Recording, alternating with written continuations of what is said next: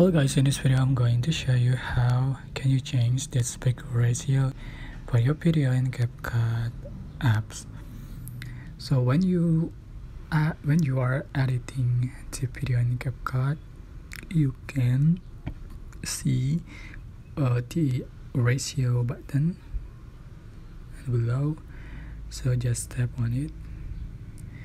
So you can select your your need for the aspect ratio for example if you want to create the uh, tiktok content you can select this this aspect ratio 9 to 16 for tiktok content and you can resize.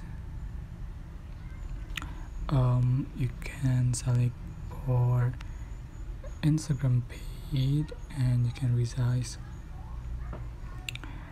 you can um, change for the mm, sorry this is for YouTube content and you can resize you can use path pinchers to resize. You check mark that's it. So simple tutorial for change the aspect ratio in CapCut. I hope this is uh, I hope this tutorial was helpful for you. Don't forget to like comment share and also subscribe Thank you so much for watching.